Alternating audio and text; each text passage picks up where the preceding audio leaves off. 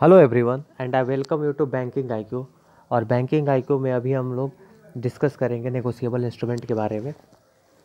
Negotiable instrument कितने प्रकार के होते हैं, ये क्या है तो उनके बारे में हम डिस्कस करेंगे। तो चलिए शुरू करते हैं।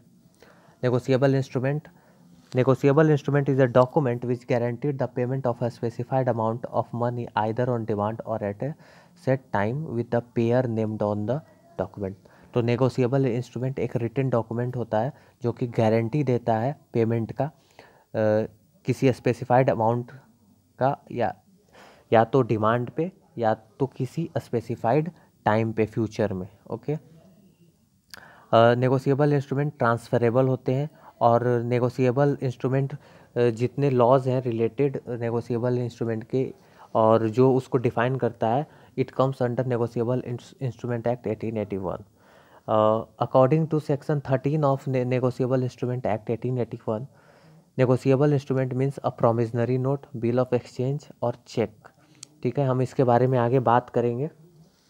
बिल ऑफ़ एक्सचेंज और cheque payable either to order और टू बियरर मीन्स ये बियरर जो है यह सॉरी ये बियरर जो है यह धारक, जैसे आपने सुना होगा धारक, जैसे कोई, किसी को चेक दिया जाए, ये चेक जिसके पास भी होगा, उसको बियरर कहेंगे। ठीक है ना? तो ये हो गया धारक। तो हम लोग जो पढ़ने वाले हैं negotiable instrument promissory note bill of exchange cheque तो ये section thirteen of negotiable instrument act define करता है इन सारी चीज़ों को। आगे बढ़ते हैं। एक और बात नेगोशिएबल इंस्ट्रूमेंट होते क्या क्या है?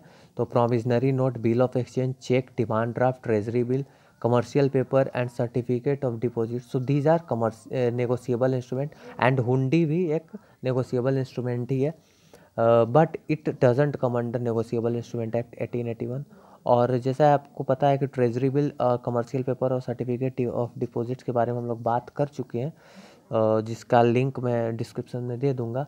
तो हम लोग यहाँ पे promissory note bill of exchange और चेक के बारे में बात करेंगे। तो चलिए शुरू करते हैं।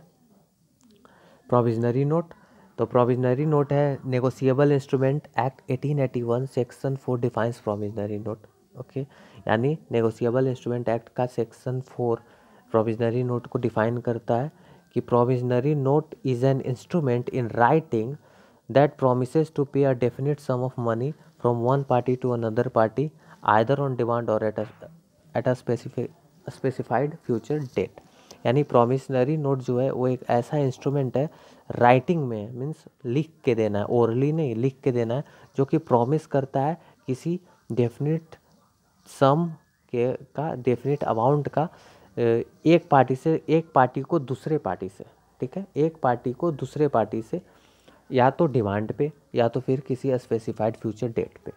अब ये प्रोविजनरी नोट्स में होते क्या हैं? तो ये it should contain word promise means एक ऐसे पेपर है यहाँ पे प्रॉमिस लिखा होगा ठीक है? And promise to pay money भी लिखा होना चाहिए ठीक है? अमाउंट्स लिखे होने चाहिए एंड डेट मीन्स हम ए, मुझे इतना पैसा अगर मुझे एक हज़ार रुपये देना है तो मुझे लिखना होगा कि मैं एक हज़ार रुपये इस फलाने डेट को दूँगा। Means amount and date should be mention अगर अमाउंट एंड डेट मेंशन नहीं है या डेट मेंशन नहीं है तो वो प्रोविजनरी नोट नहीं होगा। Means these are prerequisite of promissory note that it should be written and unconditional it should contain word promise and amount and date should be mentioned इसमें दो पार्टीज़ होते हैं मेकर और पे यानी जो ये प्रोविजनरी नोट बना रहा है इस ये होगा मेकर और जो पैसा दे रहा है जिसको पैसा मिल रहा है वो होगा पे ठीक है तो जैसे currency note for example currency note तो करेंसी नोट प्रोविजनरी नोट नहीं होता क्योंकि उसमें डेट मेंशन नहीं होते हैं।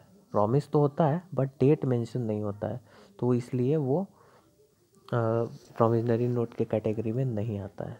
आगे बढ़ते हैं bill of exchange so what is bill of exchange तो बिल ऑफ़ एक्सचेंज एक is an instrument in writing that contain an order to pay a definite sum of money from one party to another party either on demand okay or at a specified future date with an intermediate ये भी ये भी दरअसल provisionary note की तरह ही होता है but इसमें तीन पार्टी इन्वॉल्व होते हैं प्रोविजनरी नोट में दो पार्टी होते हैं बट इसमें तीन होते हैं इसमें कौन कौन होते हैं ड्रॉवी होते हैं ड्रॉवर होते हैं होता है और पेई मीन्स जैसे ए और ए को बी से पैसे देने तो इसमें जो तीसरा आदमी होगा, ये इंटरमीडिएटरी का काम करेगा और यही कहलाएगा ड्रॉवी ये हो गया ड्रॉवर और ये हो गया पेई ठीक है, जिसको पैसा मिला वो पेई जो आदेश दे रहा है पैसा देने का, वो पेयर ड्रॉवर और जो ये सब आदेश सुन रहा है इसका, वो हो गया ड्रॉवी ओके, फिर ये इसको पैसा दे देगा। ठीक है? तो ये हो गया आपका bill of exchange. It should be written unconditional amount and date should be mention and there are three parties अब बात करते हैं हम लोग cheque what is cheque so cheque is a bill of exchange drawn at specified banker and not express to be payable otherwise than on demand means जो bill of exchange होता है, ये भी बिल ऑफ़ एक्सचेंज की तरह ही होता है means इसमें भी तीन पार्टी इन्वॉल्व होते हैं ए बी सी जो मैंने आपको अभी बताया। तो और इसमें जो बैंकर होता है, वो स्पेसिफाइड होता है। जैसे ए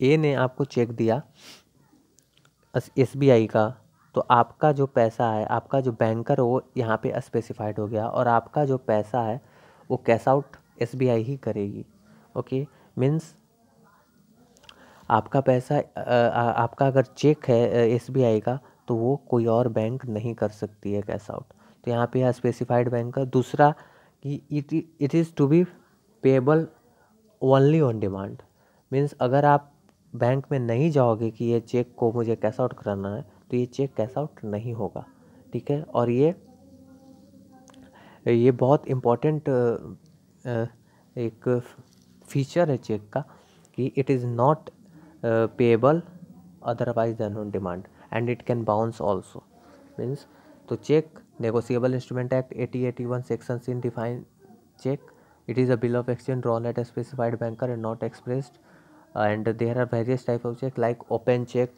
bearer cheque cross cheque travel cheque order cheque so general cross cheque तो उसके बारे में हम लोग बात करेंगे। चेक्स के बारे में ही मैं एक वीडियो बनाऊँगा पर्टिकुलरली और उसमें चेक को हम लोग अच्छे से एक्सप्लेन करेंगे।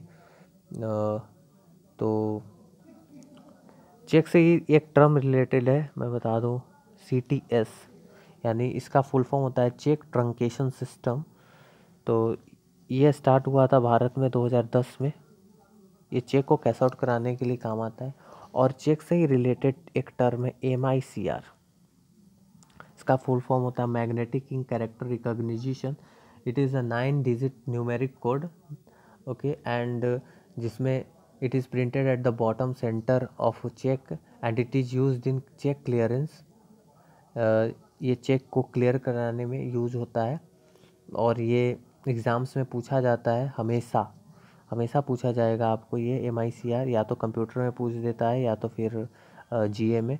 तो ये बहुत इंपॉर्टेंट टर्म है एम आई है, जैसे Indian financial system code it is eleven digit alphanumeric code so it's तो आपको ये सब याद होने चाहिए कि कौन से कोड क्या है। तो तब तक के लिए इतना ही। आगे की वीडियोज़ में में हम लोग कुछ और डिस्कस करेंगे और करंट अफेयर्स के वीडियोस में डालता रहूँगा तो आप उसको ज़रूर देखें। कोई भी सजेशन हो क्वेरी हो डाउट हो तो आप मुझे ज़रूर कमेंट करके पूछ सकते हैं। और कोई भी अपना सजेशन मुझे दें ताकि मैं यहाँ कोई मेरी गलती है तो आप उसको बताएँ, मैं उसको कमेंट करूँगा। तब तक के लिए धन्यवाद। Thank you for watching my video share करें सब्सक्राइब करें लाइक करें। Thank you